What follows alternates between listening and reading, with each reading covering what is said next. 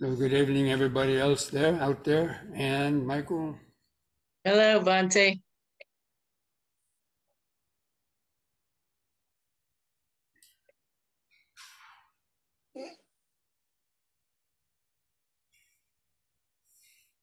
So you are ready for tonight's topic?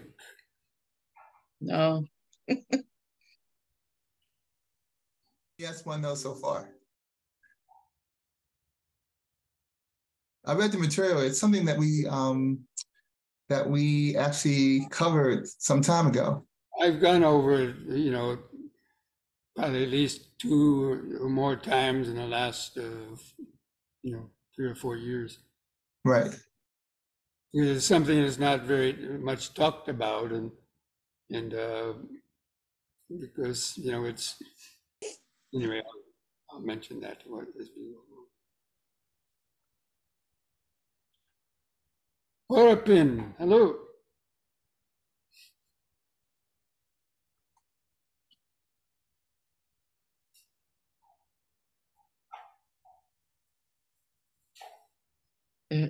Okay, it's uh, seven o'clock, uh, so uh, we will go ahead and start with reciting Namo Tassa and the, the three refuges for those who like to uh, do that.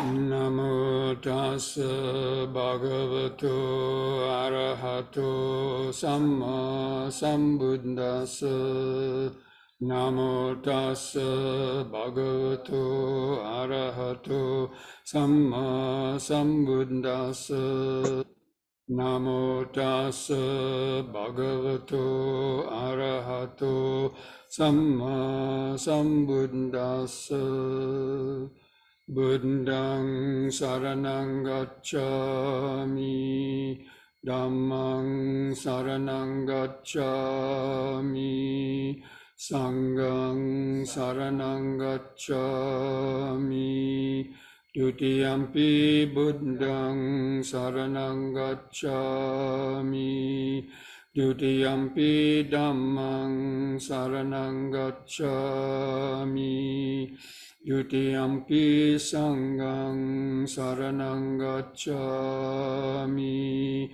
Tatiyampi Buddhang Saranangacchami Tatiyampi Dhammang Saranangacchami Tatiyampi Sangang Saranangacchami Welcome, friends, to this Wednesday evening's uh, Dhamma discussion and uh, meditation practice. So uh, I hope you are able to read over the material that I sent out in the attachment uh, a few days ago on the insight knowledges. And this basically is a continuation of uh, what we've been uh, reviewing uh, uh, in the for the last couple of months uh, in the uh, teachings of the or the masterful teachings of Gautama Buddha, my recent book, or reprinting of that book, and so it's sort of like the culmination of you know developing practicing the Dhamma and meditation and and uh, understanding the mind, and uh, especially the teachings of those five aggregates that we've been focusing the last few weeks. Uh, so these eight insight knowledges really they're the uh, you could say the culmination of the insight or vipassana meditation uh, practice. Now, when, you know, in these popular schools of meditation and so on, or Vipassana teachings, they, they don't normally uh, teach those uh, stages of, of insight because uh, it's an advanced stage. It's what I call advanced Vipassana meditation.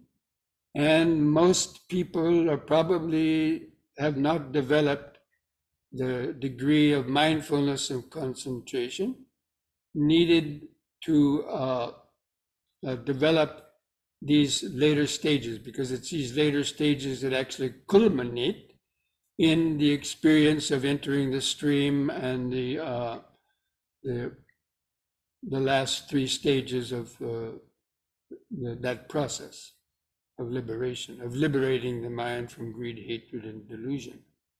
But it's good to understand them because it's kind of like uh, the what's next, the what's next. You know, people are, you know, they've been practicing meditation, practicing watching the breath for a long time. Maybe they get some fairly decent concentration. Maybe they even reach the first jhana or the second jhana. Uh, and they're just doing that as a kind of an exercise to gain concentration. And, you know, then, then they're asking, well, what's next? What's next? And so, you know, if you're really interested in developing the Buddha's path to liberating the mind, then this pretty much is the next path. And it's not different than the four foundations of mindfulness. It's just uh, the kind of the, the culmination of the four foundations of mindfulness. Practice, especially in the Dhammanupassana, and the development of the seven factors of enlightenment. So anyway, uh, we've all heard about the, you know, impermanence. So Vipassana meditation is really focused on meditation, uh, on the, the developing the insight into impermanence. That's the first stage of insight. Uh, and this is in contrast. This again is the next stage after concentration. So people develop concentration, they get some piti and the sukha, and the five hindrances are uh, have hopefully subsided uh, to a good extent.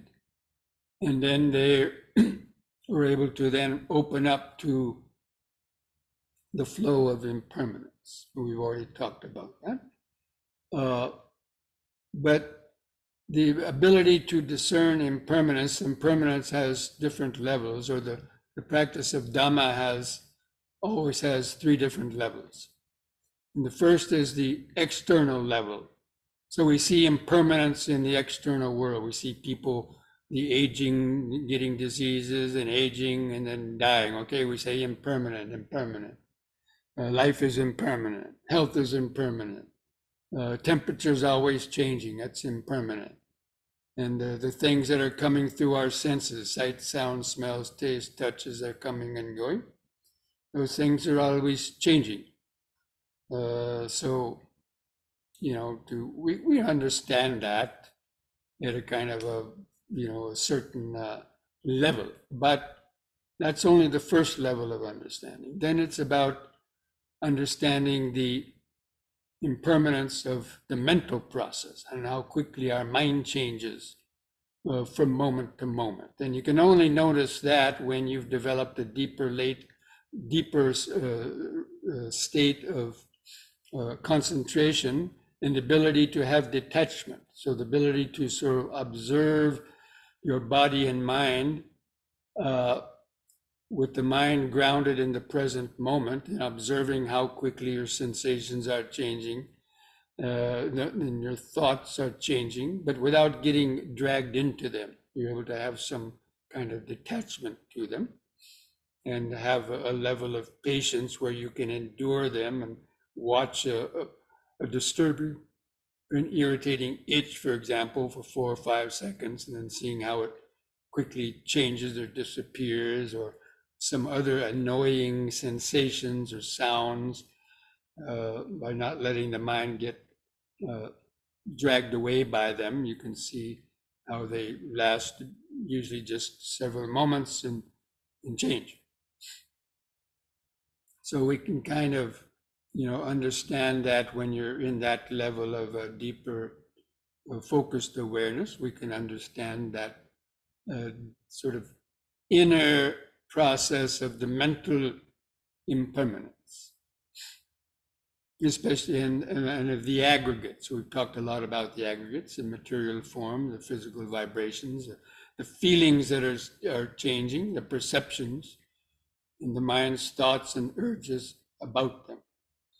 Uh, but again, uh, it's usually on a fairly superficial level because people haven't developed that a deep, deeper level of uh, concentration. So again, it really depends on the amount of concentration. I actually have a little formula that goes something like uh, mindfulness plus concentration equals vipassana. Uh, and the vipassana in the deeper sense of seeing reality as it is. And reality as it is, is that everything is constantly changing. And you can only understand that clearly when you're doing this kind of uh, vipassana uh, form of mindfulness or a mindfulness that's developed to that deeper level. So, uh,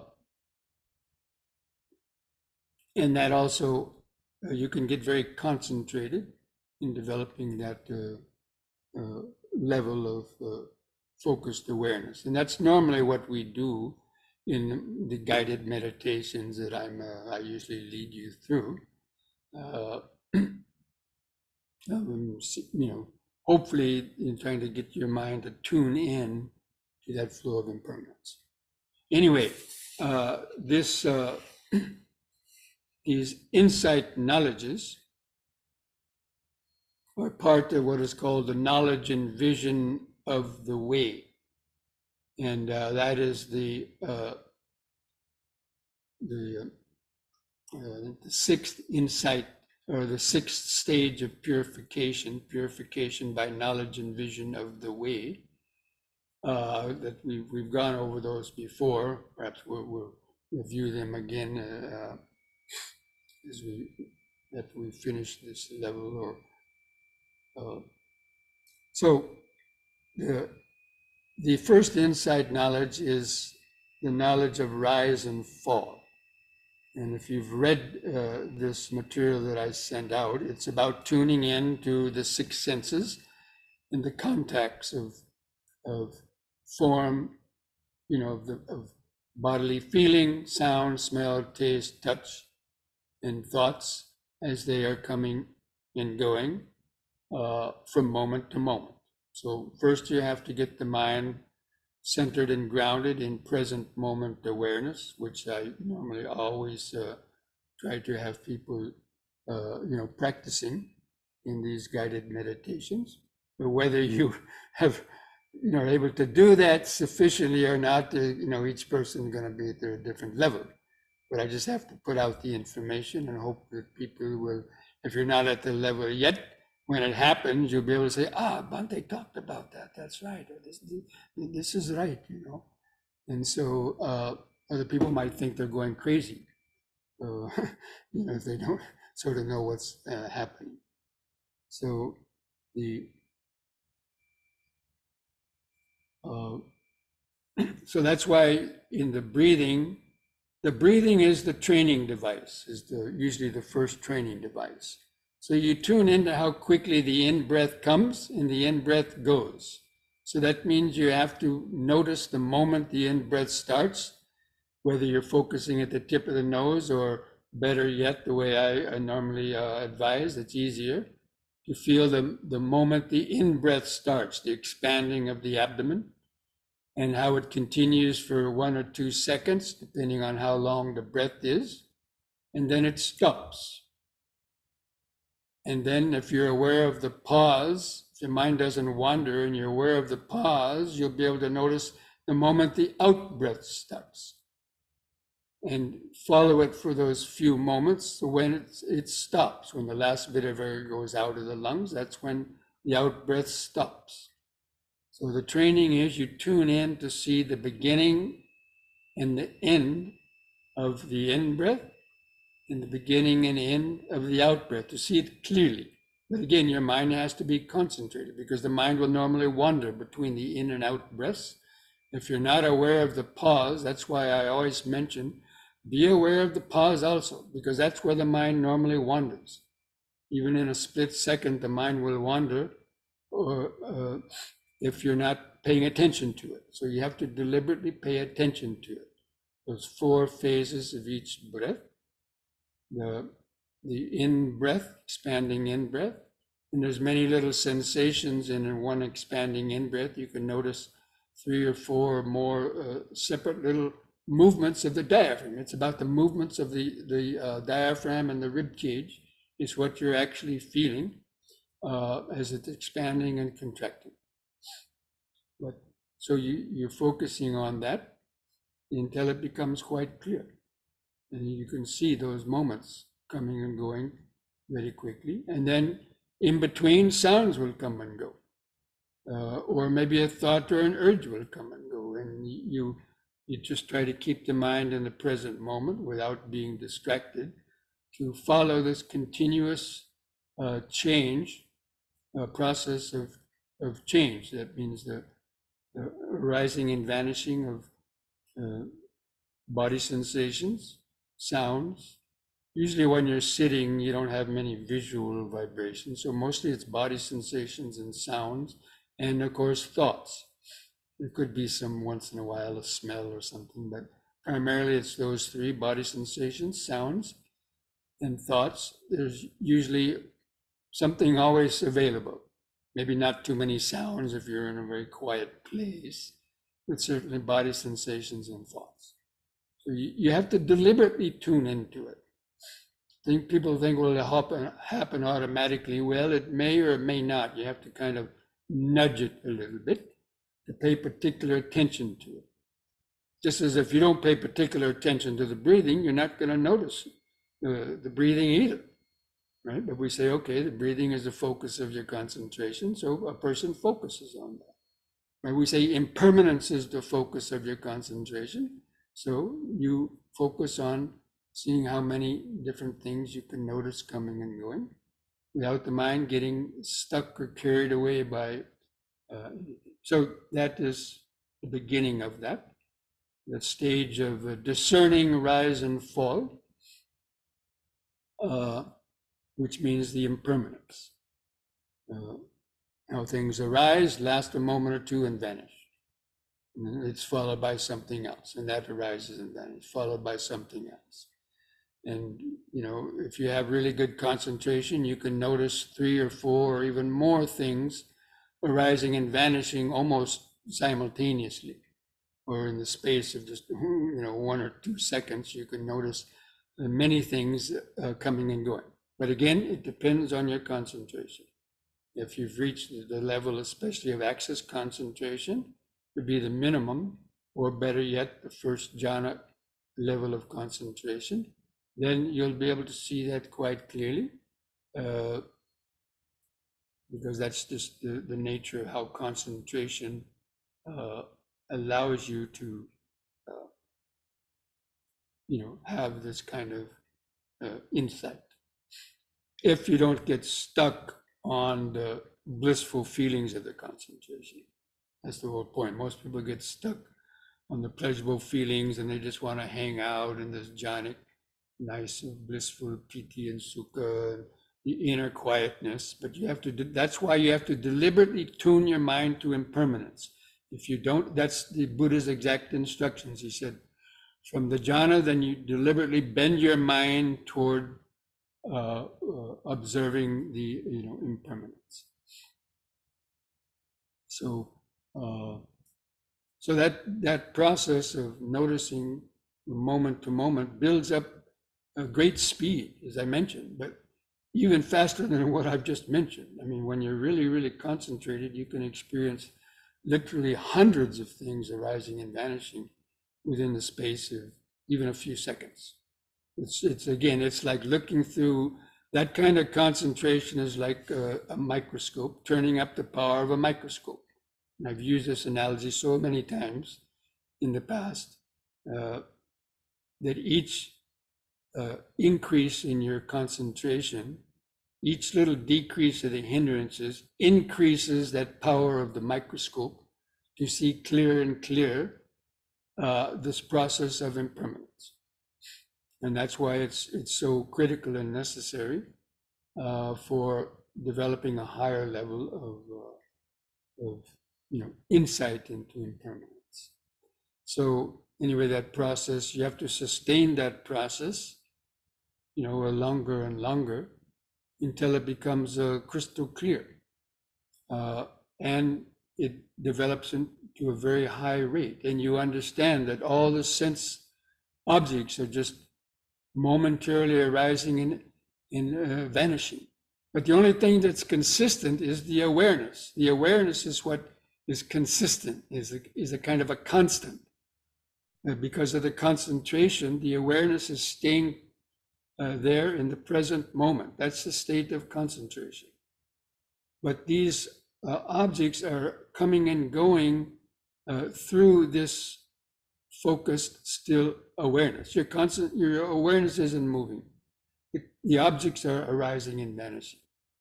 Uh, and it's very similar to a motion picture reel of film.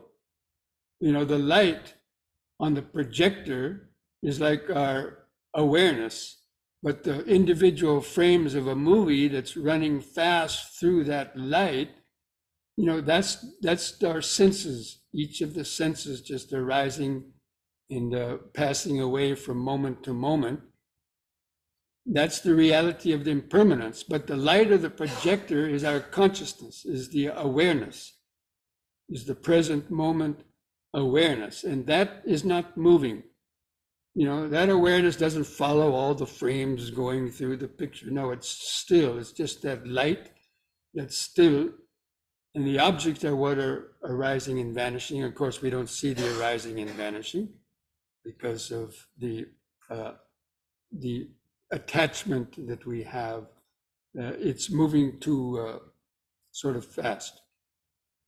But on a slow motion projector, if you happen to play a movie reel on a slow motion projector, then you can almost see that staccato like of the different frames going through because it's been kind of slowed down uh, or speeded up, you might say. What we're actually doing is speeding up the ability to notice more and more uh, things coming and going without the mind clinging to it.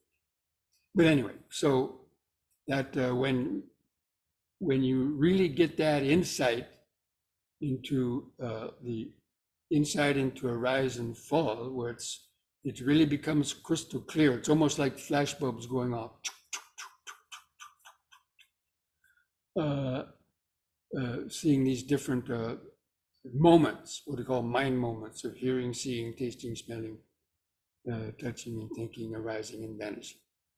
Now, you may not get to that point because you'd have to have probably third or fourth level uh, jhanic concentration to be able to see it that clearly. But even if you don't see it in that ultimately clear way, you can get a good taste of it. It's like uh, if you went to a well, let's say if you're, you know, you went to a water well and you look down and you see the reflection in the bottom of a well of water, you know that there's water down there, but you may not be able to actually taste it. But at least you know that there's water uh, down there. So the same way, in the practice of vipassana, when you get these insights, especially the insight into impermanence, you you be, you begin to understand what the Buddha was talking about, about the impermanence of the mind and how the mind is is changing faster than the body, for example. Uh, so we can notice body sensations coming and going, but the Buddha said the mind is changing hundred or thousands of times faster than the, the body sensations are changing. The, the, the mind is processing information much faster than that. That's why it requires a, a good uh, degree of concentration to notice. Anyway, so that is the uh, the first insight knowledge of uh, uh, rise and fall, or means uh, I, I like to call it the arising and vanishing, because that's really a moment of hearing just arises and vanishes. That that fall. Like listen to this. Okay, did that arise and vanish? You saw that very, you heard that very clearly, right? But now I'm talking very fastly. You can't hear each of those sentences or syllables arising and vanishing, right? Because I'm talking too fast. Is it right? But if I now slow down my speech, you heard each of those arising and vanishings of the sound? Is that? Okay, that's an example of arising and vanishing. But when we talk too fast, people's minds are slow. They can't, uh, they can't pick it up. They can't discern it. Or if the mind is distracted. So the same with body sensations. And the same with the breathing. Uh, so we can, when we develop the concentration on the breathing and we can discern how quick, you know, the clearly how the in-breath starts and stops, starts and stops, and you keep focusing on that for a long period of time, then next to it, you'll feel a little, you know, itch on the head. It just arose and vanished. Or maybe you'll feel the heartbeat or a pulse of blood, boop, arose and vanished. Then you might hear a sound arise and vanish. Ah, so you gradually, slowly now, you are beginning to tune into that. As long as you don't get carried away by the by the objects with with thinking or reacting, uh, then that's how you're able to to tune in and keep in the flow of the uh, impermanent sustain. That, that's where you sustain it. Because there's always something else coming. Uh, know, most people's houses, there's some kind of sounds. Maybe you have the, fan on, the air conditioning, or the heater, or the ticking clock. Normally we think these things are disturbances. No, when we practice vipassana, the more dis- the more things we can notice and hear, the better, because that's how we really can tune our mind in to see how quickly the things are coming in. And so this is a kind of a radically different uh, type of meditation that the average person is used to. The normal person just wants to gain some concentration, get their mind quiet, and then you know go to sleep or uh, just think, oh, that was a good meditation. Uh, but uh, you know, it's this is a a, different uh, switching on to vipassana and tuning into the rise and fall. That is, you know, you know, a different, you know, a higher level, which we we would call a higher level. Uh, if you are indeed wanting to practice uh, vipassana or the four foundations of of mindfulness. Now, uh, again, if any questions, you know, come up in any, anybody, you can write some questions down in the uh, chat box that we're gonna, we're only gonna just cover this one and the next one, or, or not do them, all of them uh, this week, uh, because there's, there's too much. Uh, But anyway, so as you go on noticing and speeding up the rate of perception, the ability to notice, uh, you know, again, countless uh, subtle, and, and you know, you're you're noticing subtler sensations before you notice a gross sensation. But as the mind stays focused, you start to notice subtler sensations. That means underneath the gross breathing, you know, might feel just one in or out breath, as you stay focused, you'll notice these sub moments of the in breath and the out breath. Uh, or the sub moments of the sound, as I mentioned. As I mentioned, you could, okay, five or six right there, you saw that. As I mentioned. And that's what you tune into. No, people are just saying, oh, what's he talking about?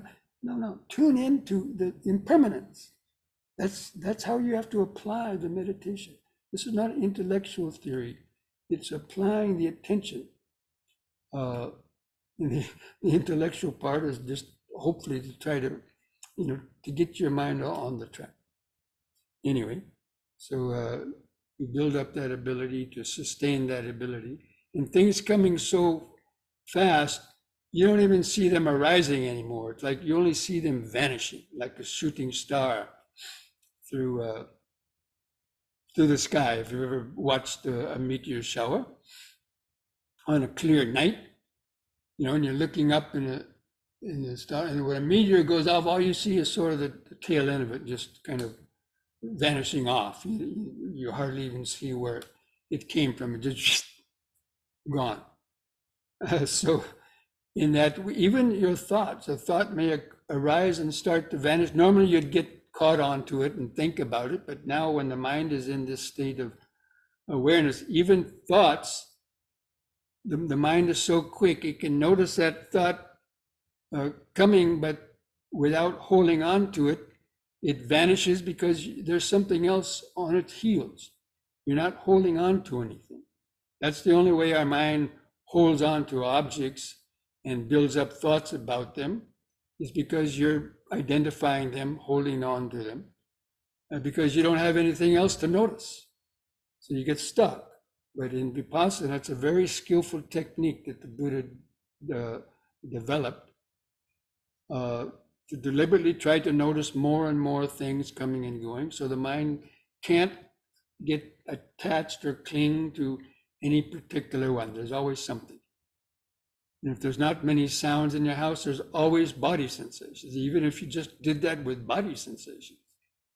Uh, that's your, uh, and then of course there's going to be thoughts too in, until you've reached a very higher level. But uh, even with body sensations, that's why techniques like scanning the body to the body to, to notice subtler and subtler sensations, these are good training uh, techniques also but not limited just to body sensations. You open it up, and while you're doing that, you can hear sounds coming and going, different places. Uh, so, like that, you uh, increase the ability to notice more and more. Uh, so that, and when you start doing that, the, the your perception of reality begins to, uh, you know, morph uh, into things starting to disappear because things only appear to be real when we're stopping to think about them and identifying with them. But when things are rising and vanishing so quickly, uh, even the, the feeling of your body may disappear or the feeling of the self may disappear. We'll talk more about that later. But uh, things are arising. So the second of the insight knowledges is just the arising of dissolution. And that's when things start to disappear. Uh, that the world, your, your ordinary focused little sterilized viewpoint of me sitting here meditating and I'm doing things in my life, that is a mental constructed process. Uh, but it, and that starts to fall apart when you reach this uh, high level of advanced uh, awareness on uh, uh, impermanence and the the, the, the dissolution, what is called bhanga or dissolution means when you reach that stage where the mind has no time to cling to perceptions or any kind of thoughts arise. And so therefore the brain shifts into a different uh, paradigm, or you could say a dimension of uh, present moment awareness where it's kind of like empty. Uh, and uh, that that uh, is coming to the state of uh, the dissolution that things are starting to uh, just uh, dissolve uh, or at least you know at a very high rate things the, the, mind has nothing to cling on to. And but that is actually is a we're going to cover that next week, but that leads to some, uh, you know, the appearance of terror and danger. But we'll talk more about that uh, next next week because we don't want to go on too much uh, this week. But uh, so uh, I'm going to maybe finish this uh, talk about the first insight knowledge of rise and fall, and it seems to be one chat. Let's hope it's about that. Or, uh, or if anybody wants to raise a hand, raise your yellow hand to ask a question uh, about that. Uh, you can do that. Okay, this question. Bhante, if you are in a jhana, you have to come out of the jhana to contemplate impermanence. Uh, it depends on what kind of a jhana you're in.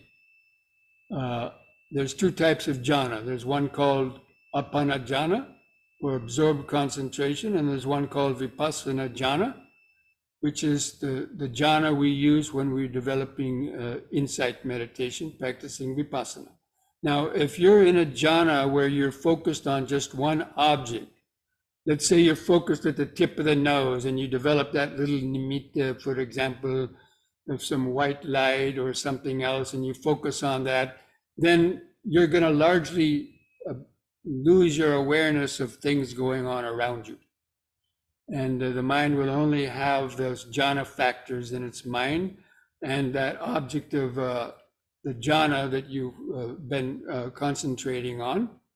It could be a colored disc or uh, some other kind of objects. But so if you're in that kind of jhana, yes, you have to come out of that jhana in order to, because you have to be awake to the six senses. You have to remain in a state of awareness. But you've attained the first jhana uh, by the time you reach this level of uh, arising and vanishing, you, you would be in a pretty much the first jhana already, because the five hindrances absolutely have to be uh, uh, suppressed to have this kind of uh, focused concentration. There can be no sleepiness at all. The mind has to be awoke. You can have applied and sustained thought is that attention to impermanence. Uh, so in, with the vipassana jhana, you don't come out of that. That's what we want to continue to uh, practicing the, the vipassana. So it depends on what kind of jhana they're talking about. And there's a confusion when people talk about the jhana because a lot of people they dismiss this uh, idea of vipassana uh, jhana. But uh, people that practice vipassana they know about it. Uh, but it, it's a different quality. So you don't come out of it if you've developed vipassana, if you if you've gotten the jhana through the development of the mindfulness and the vipassana, uh, and developing especially this moment-to-moment concentration, you can gain that level of. Uh, even the word jhana, I don't like to, you know, focus on them too much because there's a lot of confusion around it. You know, uh, it's about the mind not moving, that the hindrance is being suppressed. That's the main criteria. Call it apples or oranges or anything else. The criterion is the hindrances are suppressed and your mind is focused in the present moment. That is that is what we call vipassana jhana, and that is what we use when we're uh, going into the deeper levels of developing uh, that. Now, there are other ways of developing insight through using those other uh, absorbed jhanas, but I'm not going to go into those. That's a totally different method. Uh, and it's much more, in my opinion, is much more difficult than the vipassana method because I've, I've tried them also. But anyway, it, you know, to each his own. I mean, people are going to be attracted to certain methods that seem to uh, resonate with their their experiences and uh, whatever previous conditions they've cultivated.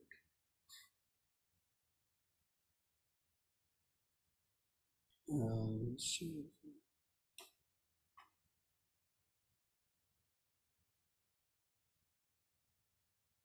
As we acquire these skills on the meditation cushion, do we or should we turn them off as we interact with society as a whole, work, family? Is there danger of not being able to function normally in everyday situations? I doubt if you're going to develop that deep of a level. Of course, if you are involved in family and work and all that, it is going to be, you probably won't be able to sustain that level of intense uh, observation because again, it requires a jhanic level of concentration to sustain that. So a person in ordinary life situation probably is not going to have the conditions to do that. But again, people are different. And of course, you can, once you go back onto the cushion uh, and meditate, you can easily, once you, once you uh, get a taste of what these states are, like the, the perception of impermanence and tuning in to the moment to moment conditions, then it's easier to to get back into that. It's easier to get back to it because it's sort of like a channel on a TV set or a radio. You know, you have many different radio frequencies and you can tune into country, western, rock and roll, hillbilly, uh, long hair music, uh, so many different kinds, right? And before you might have to focus on the channel, is that it? Read the dial, okay, 95.5. But once you get familiar with that, you can just go right to it, you know, because you become familiar with it. So the same way with, uh, you know, reaching states of jhana and also these vipassana levels of insight, once you've uh, become acquainted with them, but certainly your daily life, if you have traumas and all kind of intenseful, stressful situations, uh, that is going to affect your ability to uh, to easily uh, get back into that. And uh, there could be in some situations, uh, you know, the mind will lose interest, and I'm going to talk about those in the next few, you know, next week when we talk about the appearance of terror and danger. That's the next, next, the next level.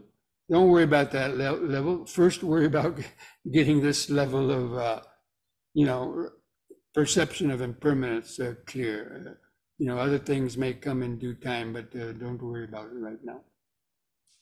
Um,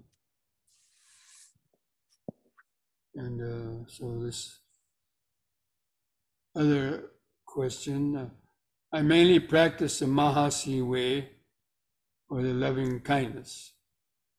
Uh, well, that's good. The Mahasi way is this way of developing moment to moment concentration, noting the different moments of hearing, seeing, tasting, smelling, touching, and thinking, and tuning into that uh, perception of impermanence.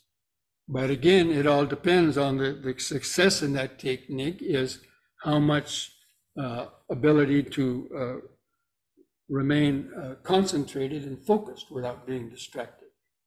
So even in the Mahasi technique, even though they don't say you need jhana, you you reach the vipassana jhana. They're doing that because I practice that myself and I know.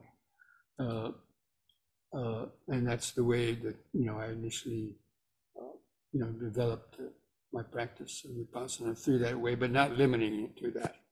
As you know, I also practice yoga and so on, which enhances the ability to have deeper levels of concentration too. Uh, the way of loving kindness is basically not a vipassana method, although uh, once you gain the concentration and the mind becomes calm, if you don't get stuck on the jhana factors, then you you can then, once the mind has been calm through practicing uh, uh, metta, then you would have to then deliberately again uh, tune in to the moments of uh, the flow of impermanence from moment to moment. But Bhante, I I just wanted to say that nowhere else. I mean, I'm living here uh, in a senior community in Florida, and nowhere else in my life have I witnessed and felt the this the the nature of impermanence as I have here. Meaning, in the two years that I have lived here, I have seen six deaths. Six people have died. Mainly because, you know, the, the age group is such, is 70s, 80s, few people are even in their 90s. So, you know, it it, it, it is so vivid over here that one day you are you are developing relationships with these people you become friends with them you interact with them on a daily basis. And then lo and behold somebody is developing cancer somebody's got some depression and within days or weeks, these people are gone. yes, You see, so since I have come here, this is the point I'm making that I have never felt the impermanence so strongly as I as I am feeling it over here. Yeah, But that's the external impermanence. We're talking about internal impermanence in our practice of vipassana is all about internal impermanence, not external impermanence. Doesn't need meditation to understand external impermanence. Anybody knows that. But it's the internal impermanence is what we're focusing on, the, the impermanence of your mental states from moment to moment and how you Yeah, no, exactly. I, I I know we are talking about that, but I'm just talking about impermanence on the whole. That one day life is here, and the next moment it's gone. Yes, of course, absolutely. But people try to ignore it and think it's not going to happen to them, but one day it will happen. Right, right. So, so that truth. I mean, you have done awareness of death Uh, you know, this retreats many times. Um, so it it really just just becomes so clear how impermanent life is since I have started living here in this community. But the external world is just a continuation of our internal world. Uh, the, the, you know, the impermanence of the mind is, you know, exhibited in the external uh, world. Right, right, right. So I think my question to you is after I, I, I have expressed this, that these people with whom, as I earlier said, you develop relationships with them, uh, you become friends with them, and you sort of become, you know, you, you can't just stay away completely from getting a little bit attached to them. But suddenly when they are gone, how do you how do you deal with your own emotions? Like one day this guy is here and the next day gone. Through meditation because you're, you know, you're not yeah. the impermanence of your mental states as much. You're worried about the external world, not your internal world. And knowing that, uh, you know, these getting attached to people, you, you know that they're going to die in a few days. Why get attached to them? You know, you just, you have to, you know, you have to accept the reality that the same thing is going to happen to you. And it's not a callous state of mind, it's the reality. And uh, so, you know, it's, it's, it's painful, but it, it's, that's the nature of the life. And people, you know, it's, it's a perfect time for you to develop that uh, detachment by living in that situation rather than people that are living only around young people or other types of things and, you know, what's kind of hidden to them. But this is very evident, you know, and in in your own uh, self, you have to prepare the mind for that you're going to have to leave the world. Anyway, uh, we need to, uh, we're going to bring this uh, discussion to an end now because we want to, uh, know, continue with our meditation practice, okay? So, so friends, uh, we'll take a few minute uh, break and then come back and do a few yoga exercises and then uh, get into the impermanence of the body, okay?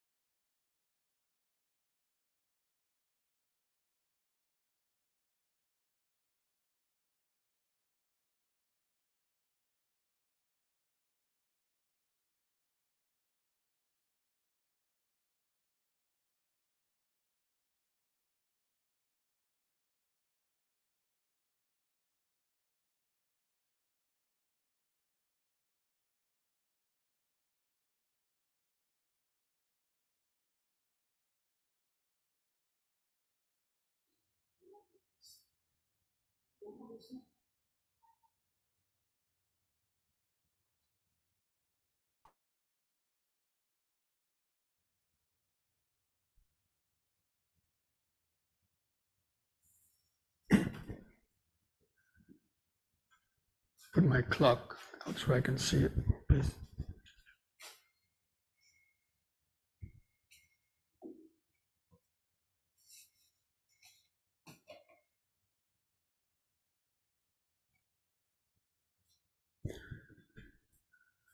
Okay, friends, so let's try to stand straight, relax your arms at the sides. Gently close your eyes. Try to feel your eyes in the sockets or your head balanced on top.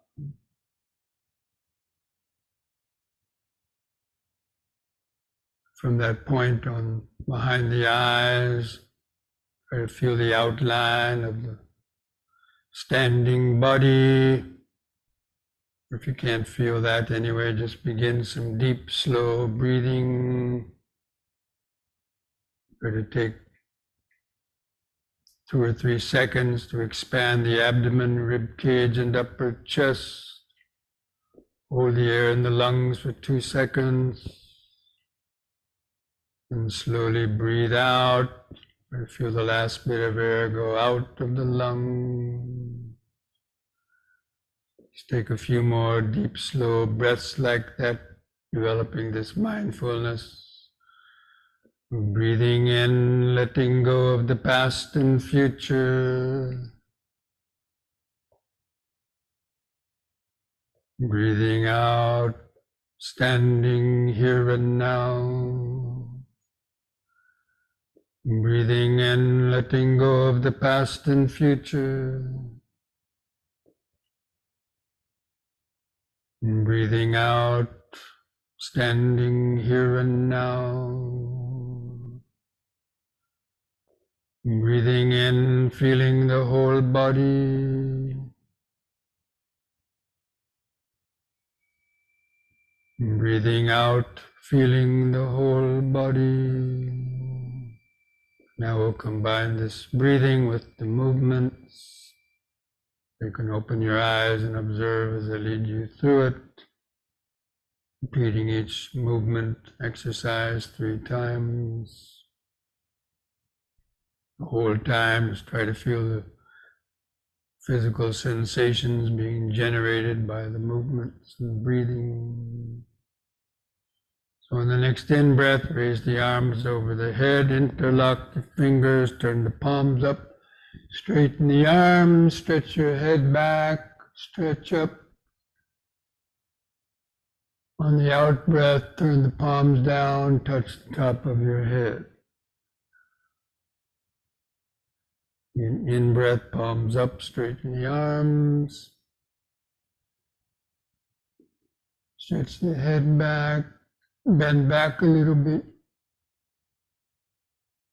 Out breath, touch the top of the head. Third time, hold the upward stretch longer. Bend back a little more. Feel the sensations, feel the arch in the spine.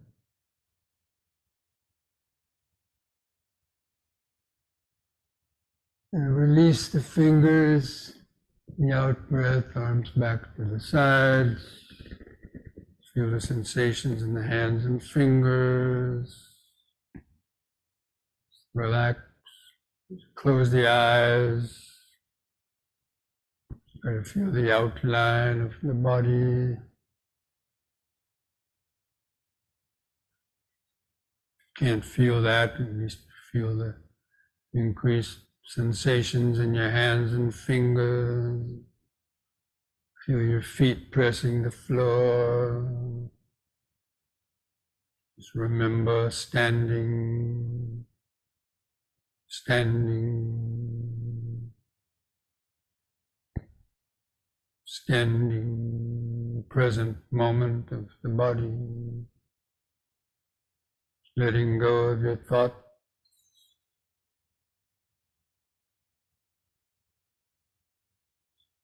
Stay tuned into the breathing.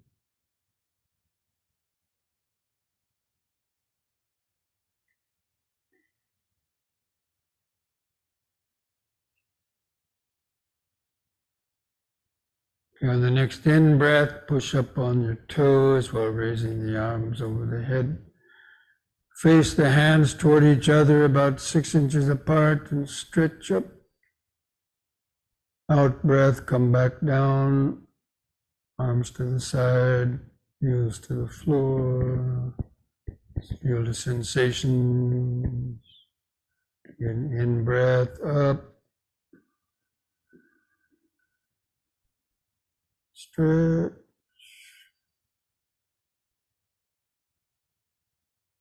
Out.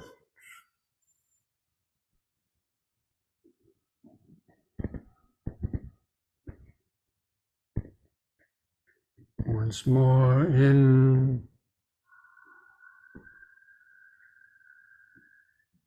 Stretch.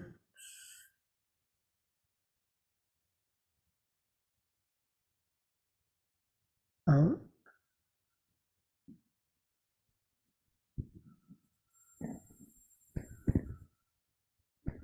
Close the eyes. Just feel the feet pressing the floor.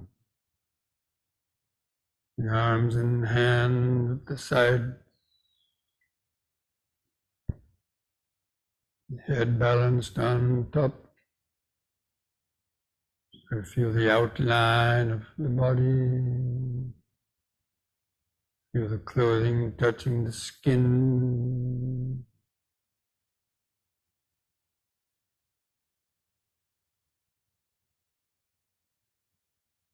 You feel the subtler sensation.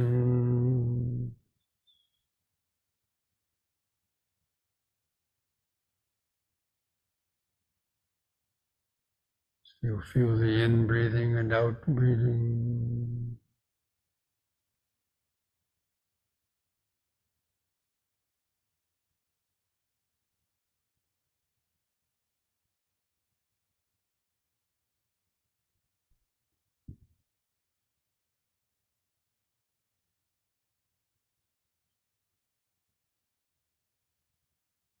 Next, we'll do the knee bending. On the in breath, you can lift up on the toes, raise the arms up front for balance. On the out breath, bend the knees, lower down, balancing on the balls of the feet. And take a deep breath, the muscles in the legs, pushing the body up. Up on the toes. Out breath.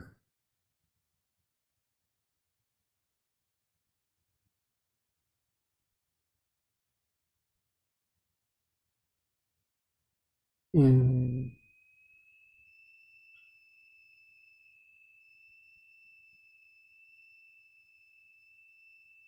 Out.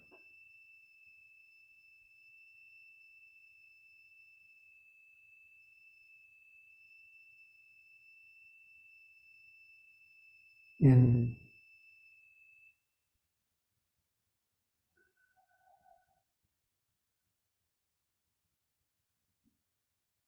The out breath, relax. Close the eyes. Feel the increased heart beating, other sensations.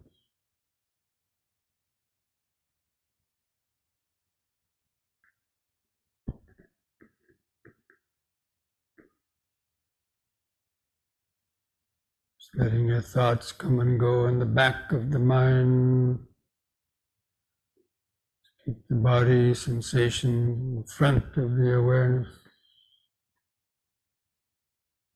Feel all that change, sensations constantly changing.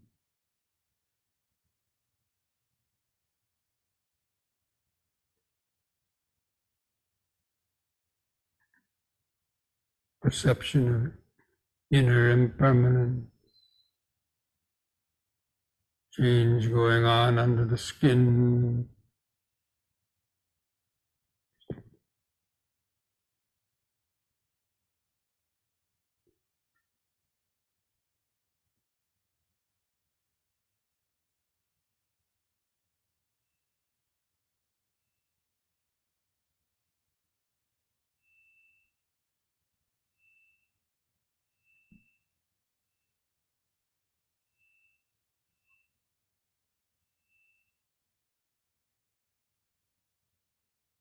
Next, we'll do side bending using both arms. On the in breath, raise both arms up. Keep your fingers and arms straight, close to the head. On the out breath, bend over the right side. As far as you comfortably can, keep the arms close together, par- parallel to each other like railroad track. In breath, lift up. Then bend over the other side, out breath.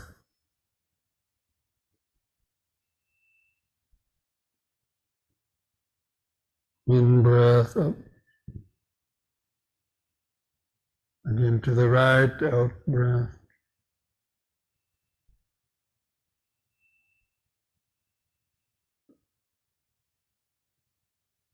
In.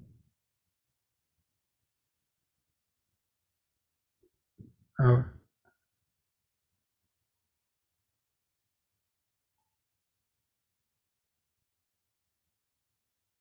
In. Once more to each side.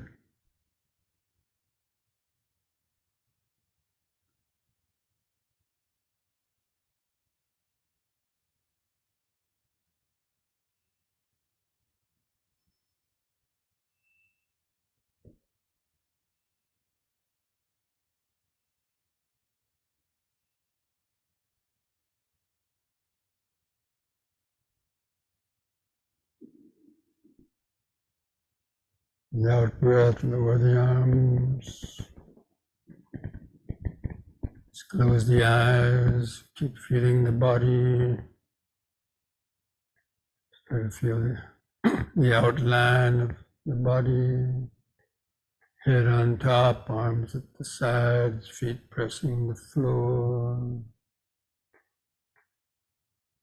Feel the clothing touching the skin. Feel the outline of the whole body. So many different sensations, pulsation, coming and going.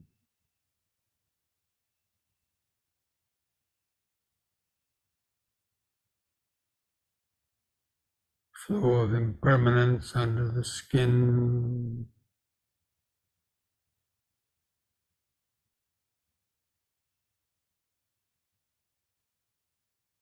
The outer body or inner body.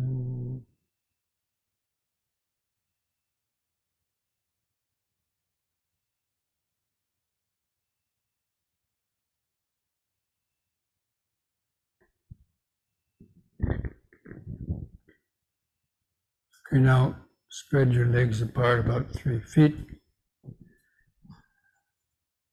Wider the better. Hold the arms out to the sides. We'll do twisting from side to side. And breathe in. On the out breath, twist to the right. Keep your eyes focused on the hand going back.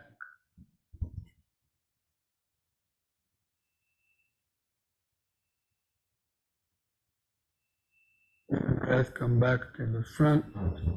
Let your feet turn with the body and then twist to the other side on the out breath.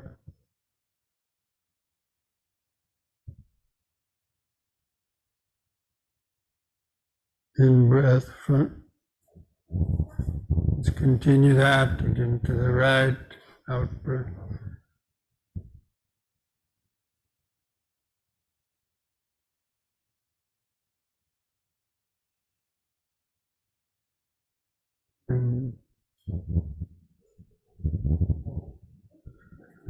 Out.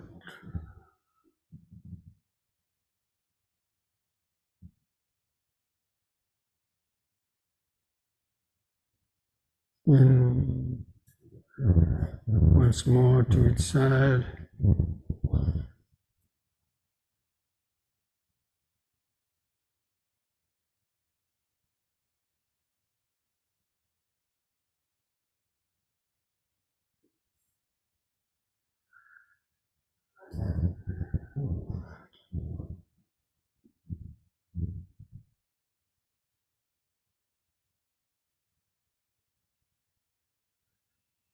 Come back to the front, lower the arms, close the eyes, feel each foot pressing the floor.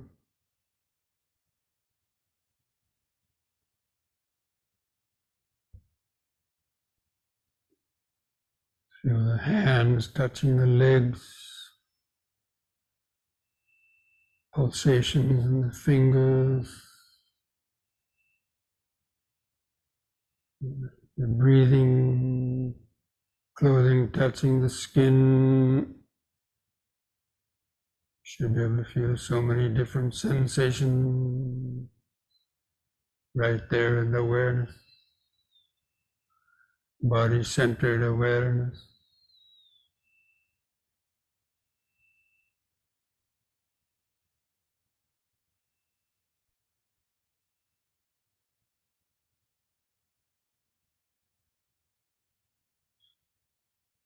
Letting your thoughts come and go in the back of the mind.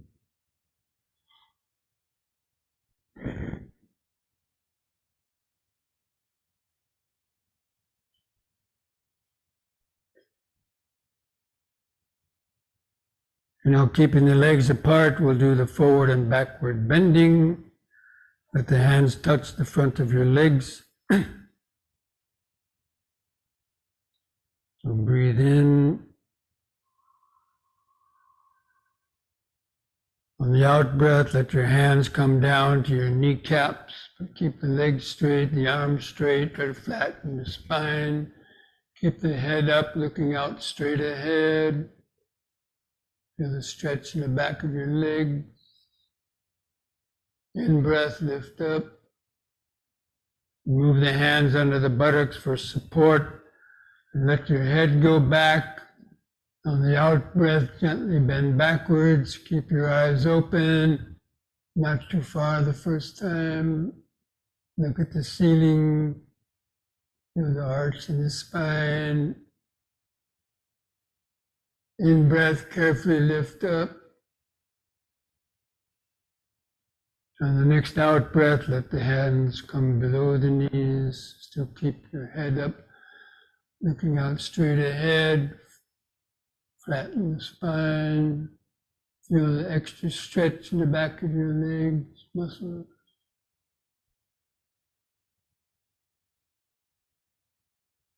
In breath, lift up. Again, the back bend, out breath, be careful.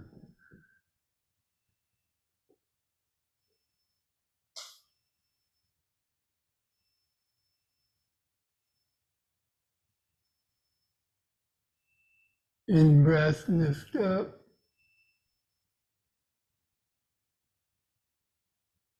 And the third time, let the hands come down as far as you can towards your feet and hold on to your legs or feet longer.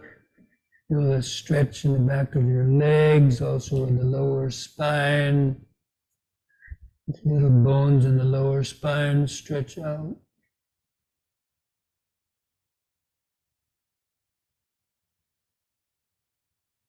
Feel all those sensations.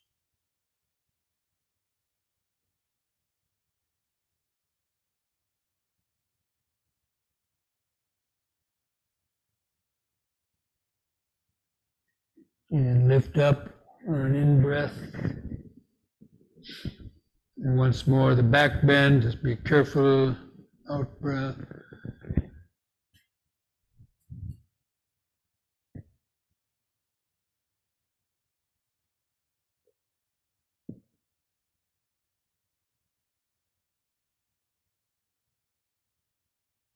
In breath, lift up. On the out breath, just relax the shoulders, feel the whole body, just close the eyes. Feel each foot pressing the floor.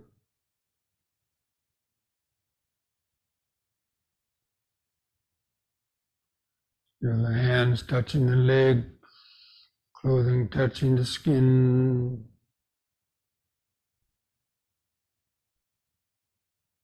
Feel the head on top And feel the outline of the whole body vibrating, pulsating with activated life force.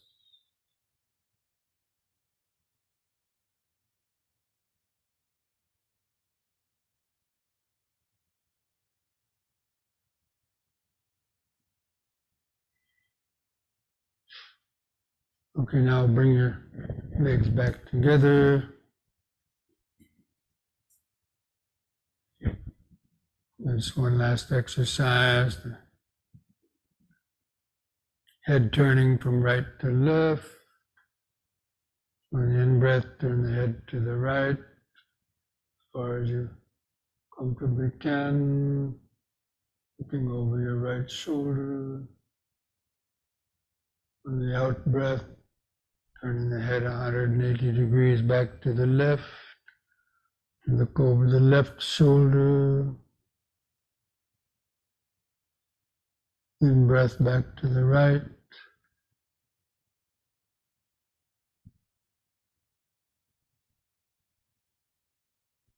Out breath left.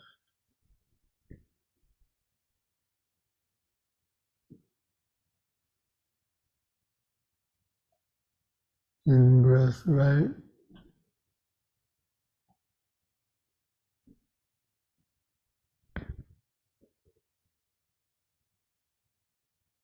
Oh, Out left.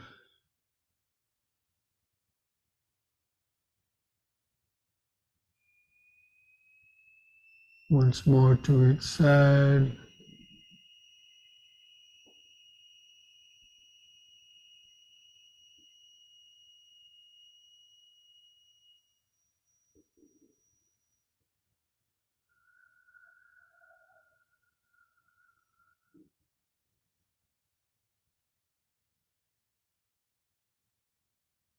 With the in breath, let the head stop in the center.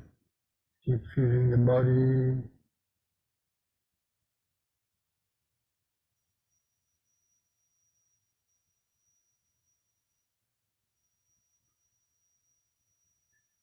And feel the outline of the whole body. Feel those vibrations, sensations, the activated life force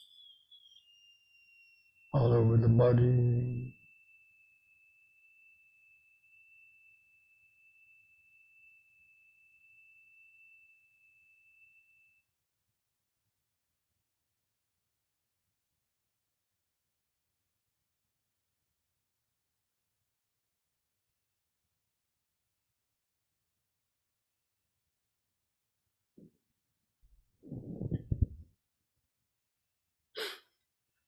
Okay, now we'll come back to our seats, get ready for the sitting awareness.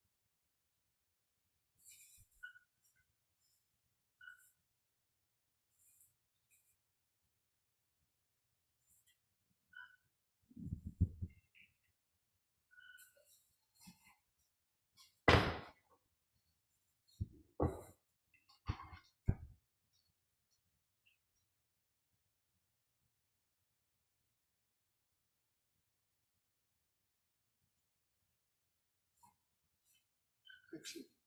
Turn it off.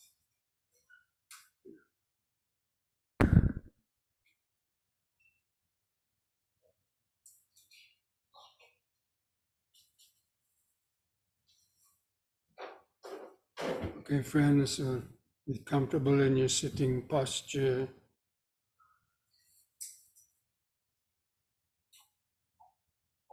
Keep your back and back of your head in a straight line, spinal column.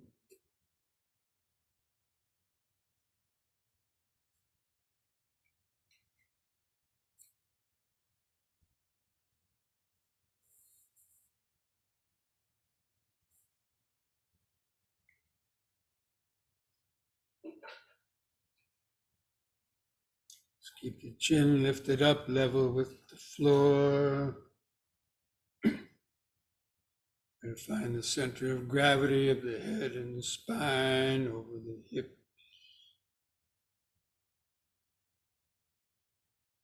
Gently close your eyes. That point on the eyes, feel your face. We're going to spend some time moving our attention down to the body, feel more body sensations. Just keep feeling your face and head on top of the spinal column. Feel the eyes and the sockets.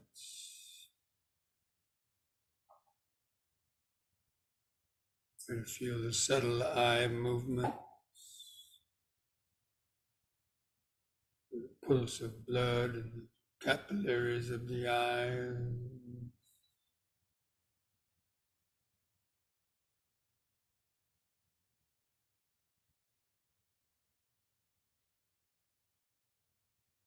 Feel your lips touching together.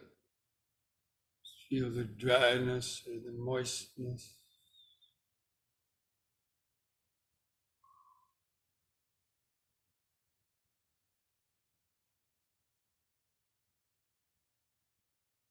Feel the tongue inside the mouth.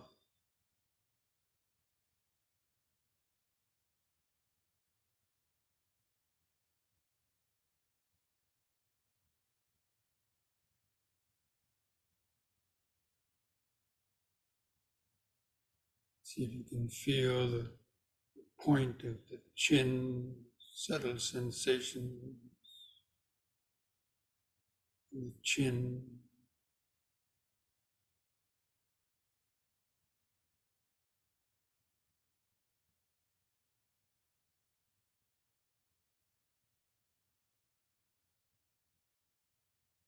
Try to feel or imagine the thickness of the neck inside the throat, feel some sensation.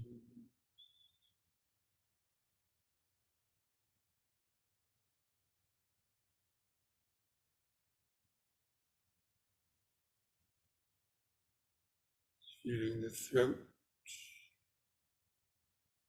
neck.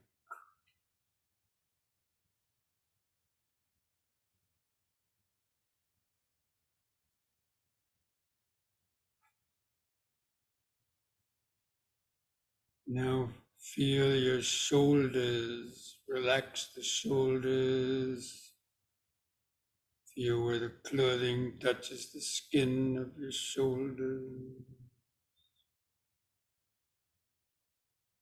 Feel some sensation on the right shoulder the left shoulder.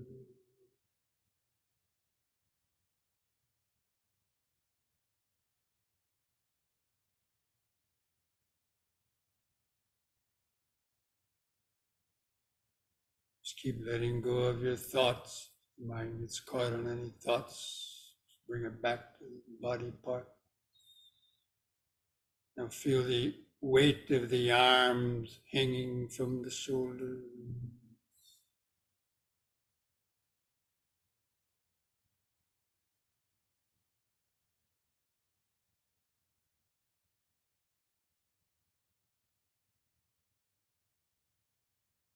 Move the attention between the shoulders, feel the chest area, the clothing touching the skin of the chest.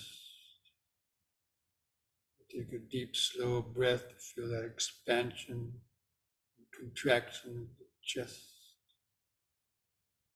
You might feel the heart beating inside the chest. Hold the air in the lungs a few seconds.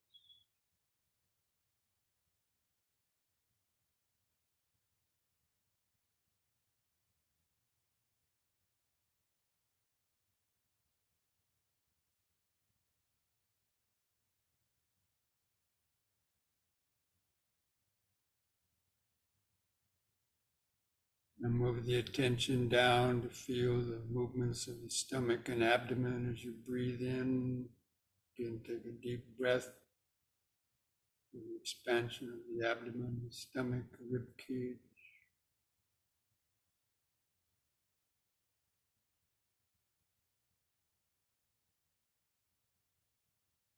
All those different sensations.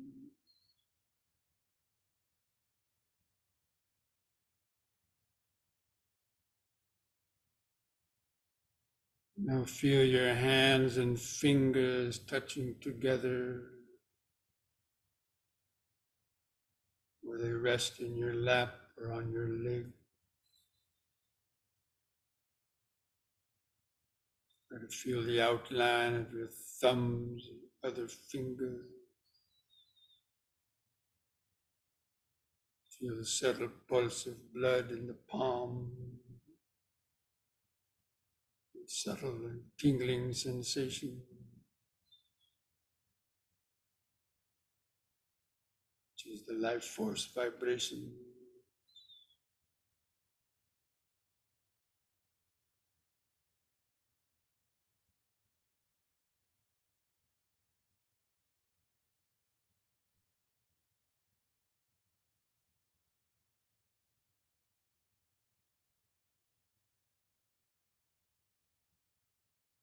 Now move the attention down to feel the buttocks pressing the seat.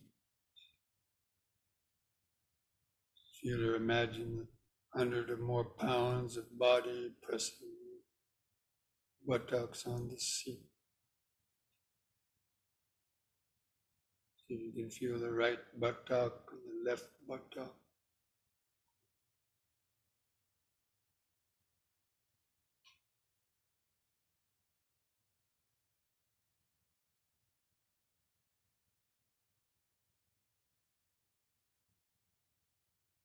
Feel the sensations in the, the whole groin, pelvic area. Lots of different sensations.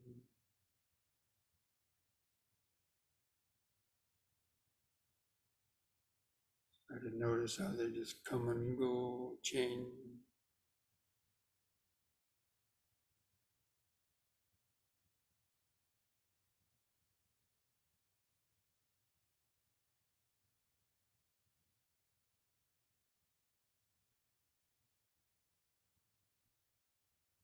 Now feel your knees, right knee and the left knee. Any pains might be there.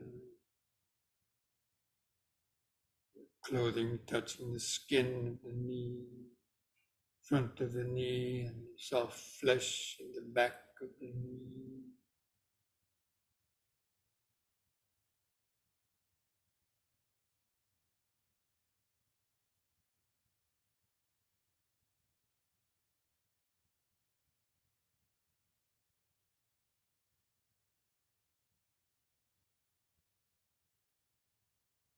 And feel your lower legs, your calf muscle, shin bone.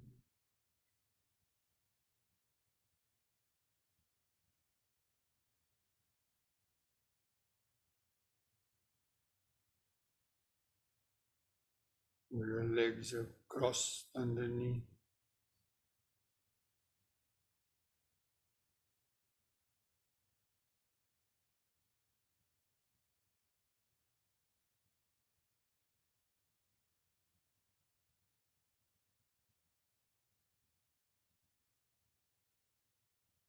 And now feel your feet, starting with the heels. Feel both of your heels, the sensations in the heel.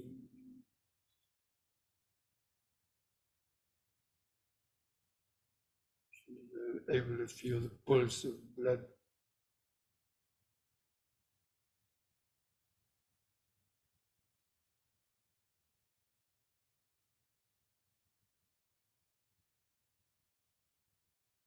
Feel the arches of the feet.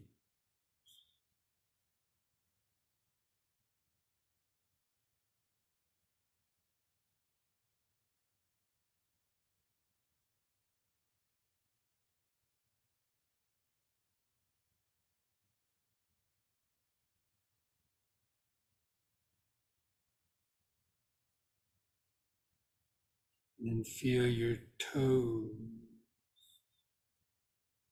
Feel the outline of your big toes. And any of the other toes where they touch together. Just feel the pulse of blood in the feet.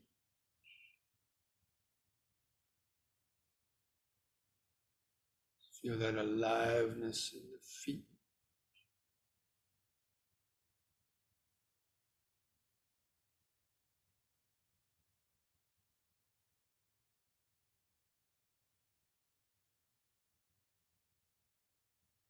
Impermanence, blood coming and going, pulsation.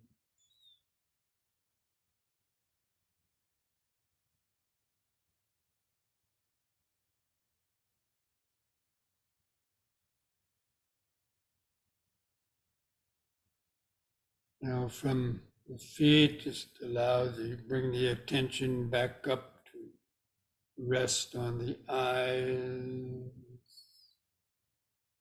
From that point on the eyes, try to feel the outline of the whole sitting body, the head on top, the arms at the sides, hands touching, buttocks pressing, seat, feet pressing the floor, just the, the general vague outline.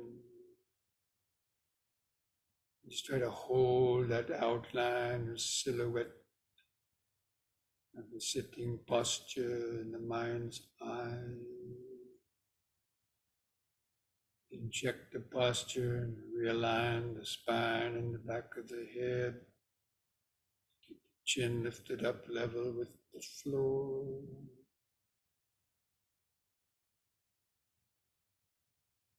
To hold that outline of the sitting body in the mind's eye.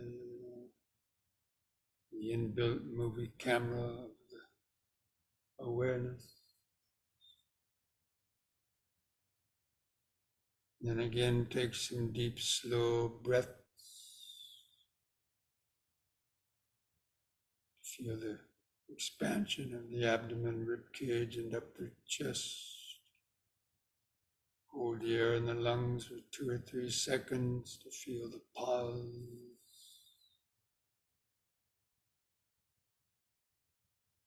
And feel the long contraction of the out breath. Feel the last bit of air go out of the lung.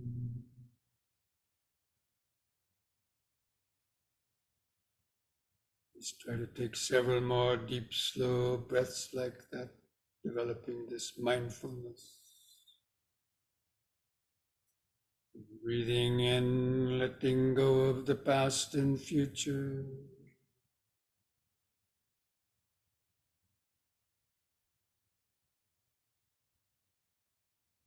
Breathing out, sitting here and now.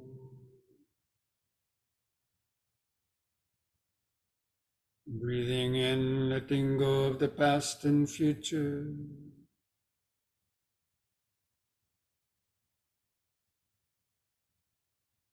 Breathing out, sitting here and now.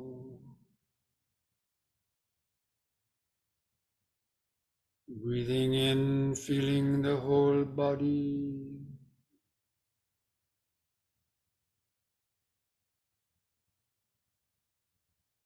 Breathing out, feeling the whole body. Now we're going to count the breaths from one to 10, develop a more focused concentration on the breathing. Keep your attention focused in the center of the body. Feel the expanding and contracting movements of the abdomen, rib cage, and chest. Take some slightly deeper breaths if you can. I'll do the counting for you. Just try to follow that with your breathing awareness. On the next expanding in breath, mentally count to one. Hold the breath in for one or two seconds. The contracting out breath, also count to one. Feeling the last bit of air go out of the lung. Next in breath, two.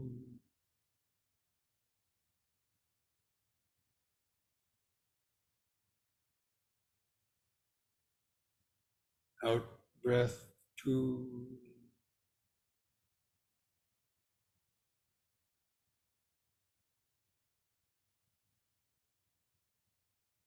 In three.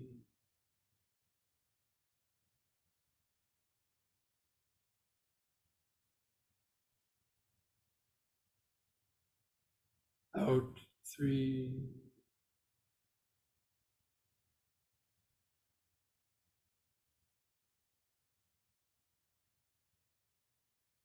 In four.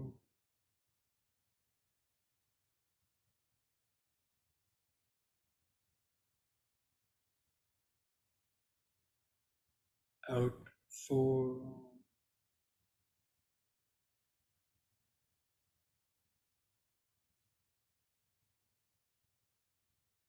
In five.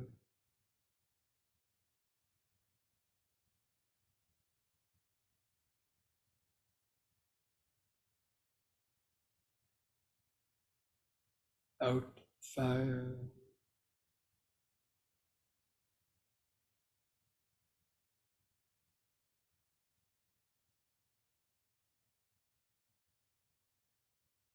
In six.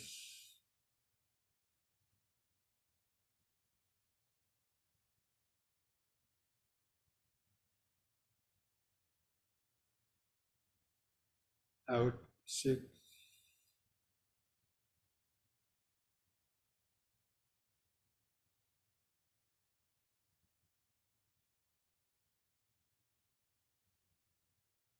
In seven.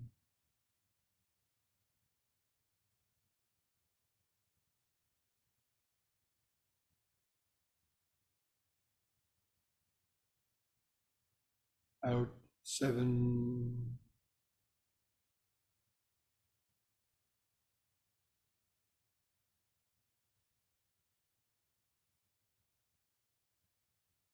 In eight.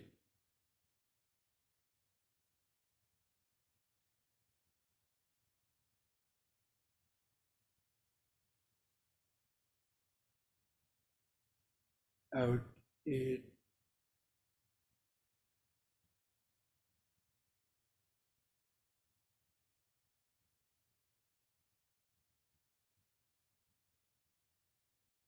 In nine.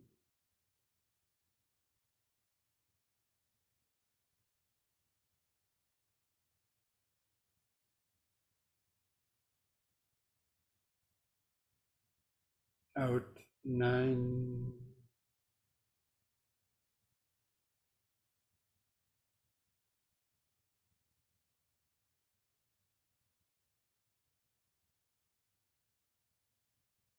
In ten.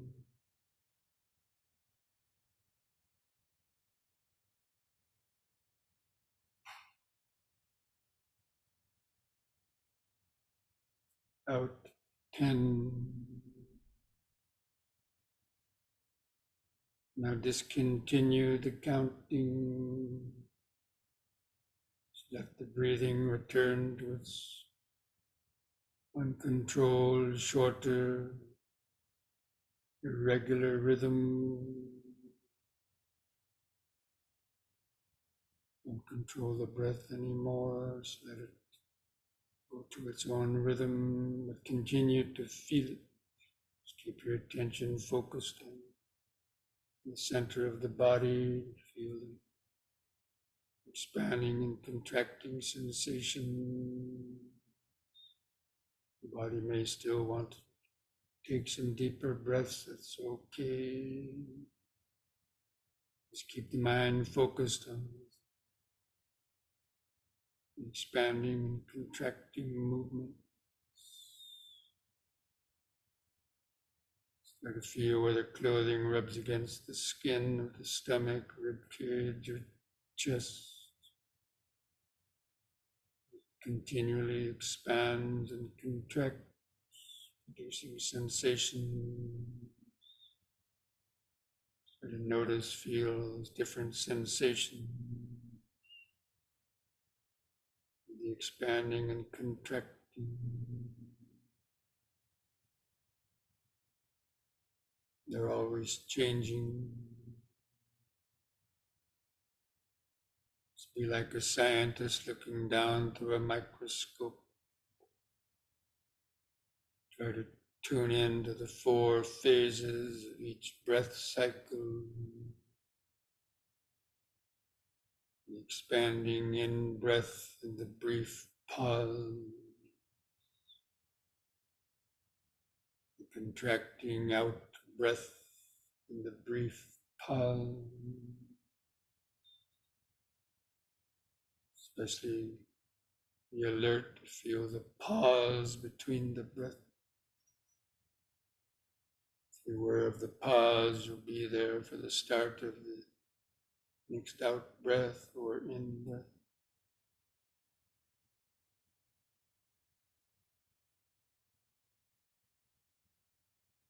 Feeling the whole in breath from beginning to end, several different expanding sensations. a Brief pause, noticing several different contracting sensations. Brief pause.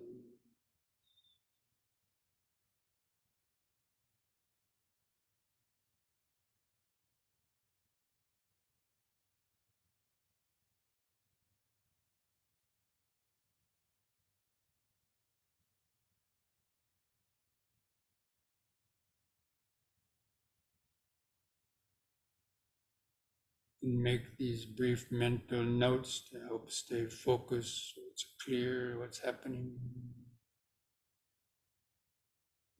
In, in, sitting. Out, out, sitting.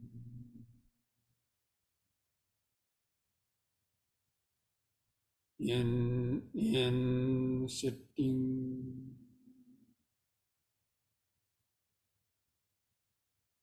out out sitting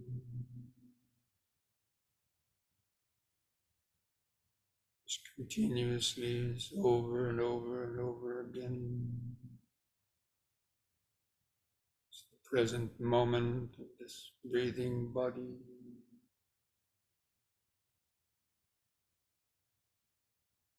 in in sitting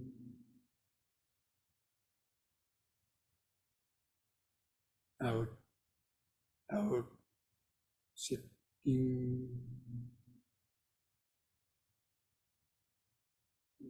turn up the power of the mental microscope make it more clear. Each moment of expanding pause, each moment of contracting, the pause.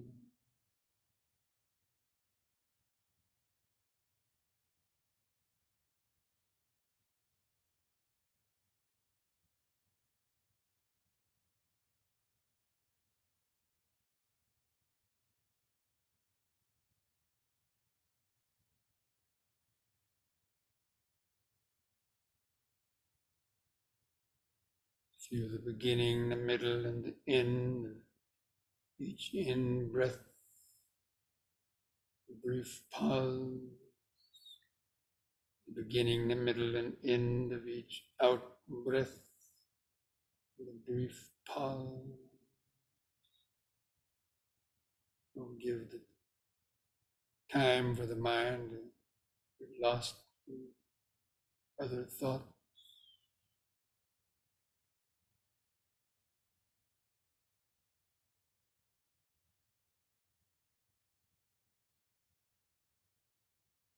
Want to think about something, just think about in, in, sitting. Out, out, sitting. Think about the impermanence of the breath, breathing process.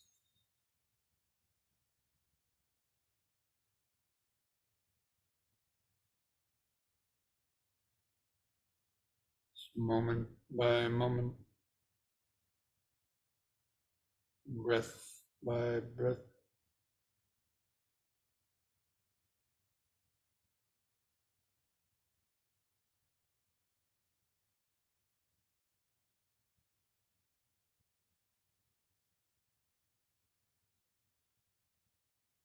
Try to notice at least three or four different sub moments of breathing in.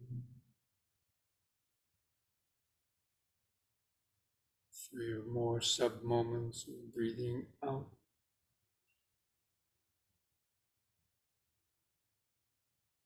Process of impermanence.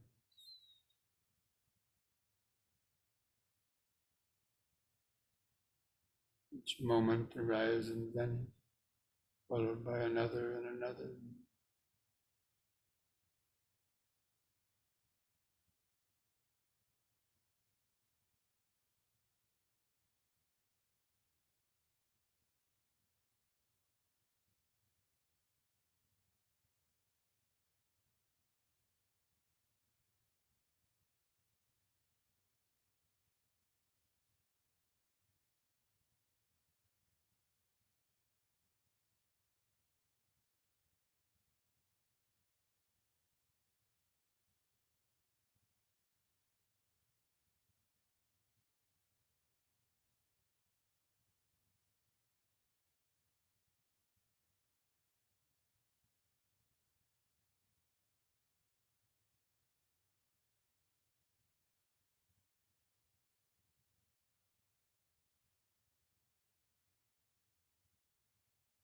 Being alert for thoughts sneaking into the mind, letting go of the thought.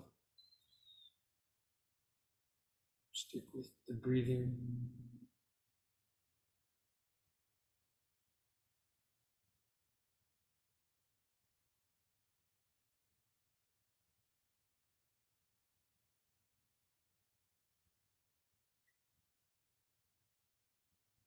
Even while you're observing the breathing process.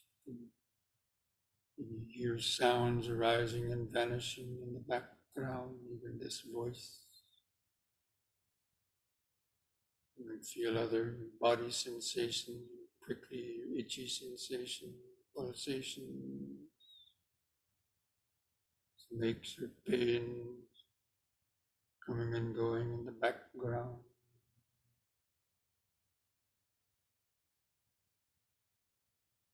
Coming and going through this breathing body awareness.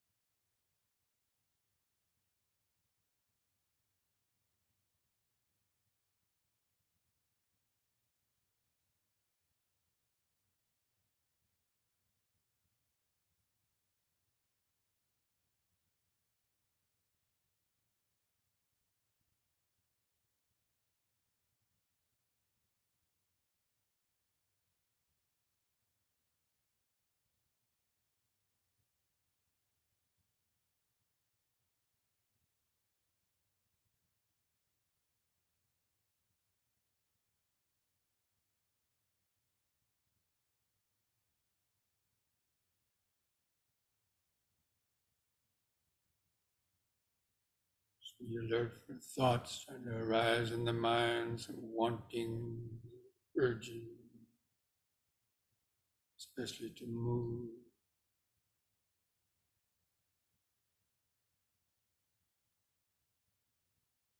Maybe a thought of confusion.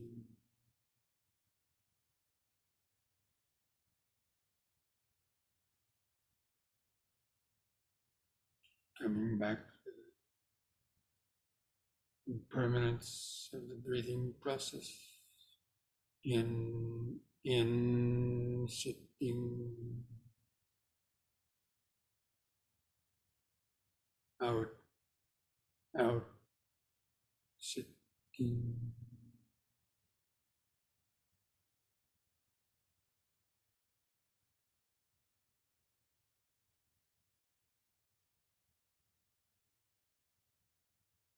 Can identify the five aggregates, you can add that to it. This is material vibration. This is pleasant or painful feeling. These are perceptions. Thoughts, urges. Continually changing. Thoughts of I, me, and mine ego consciousness.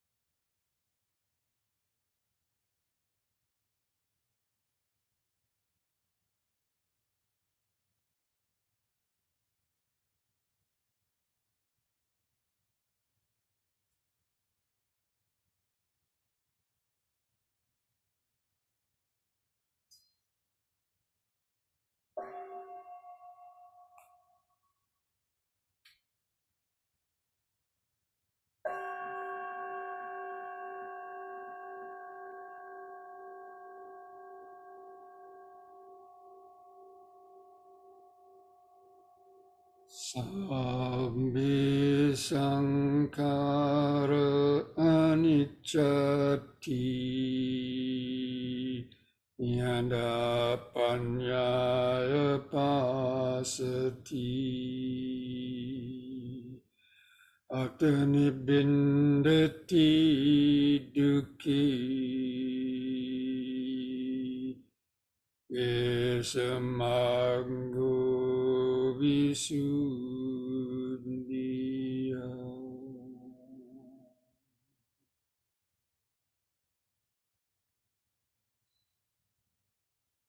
All conditioned things of this body, mind, and the world are impermanent.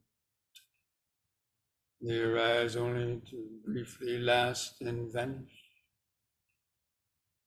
When one sees this with the eye of wisdom, one becomes disenchanted with suffering.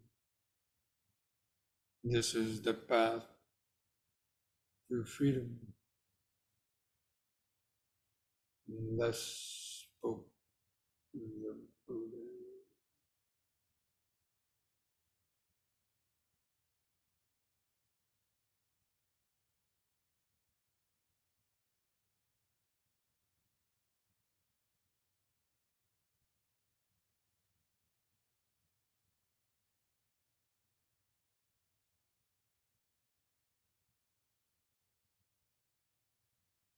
I invite you to join in chanting the word sadhu three times slowly. We do the chanting on the long out breath. Try to feel those vibrations in your body and mind on the out breath. Take a deep breath.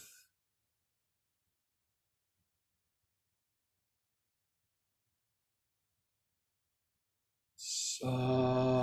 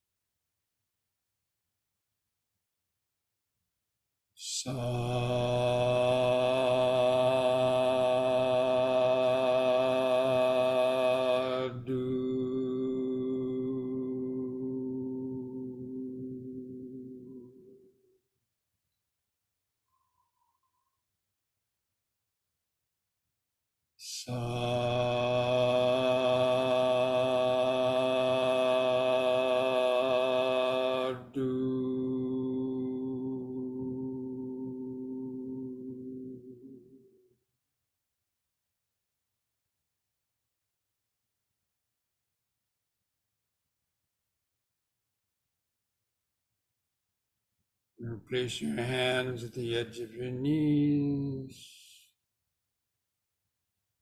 Take one more deep breath. On the in breath, stretch your head back and pull the hands on the knees to arch your spine backward.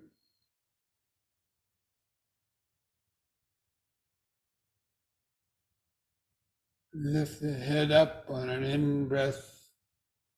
On an out breath, press the chin to the notch at the top of your chest. Stretch the neck vertebrae.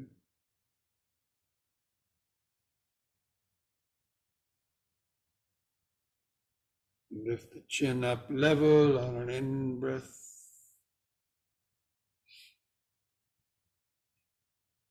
On the out breath, relax. Put a smile on your face.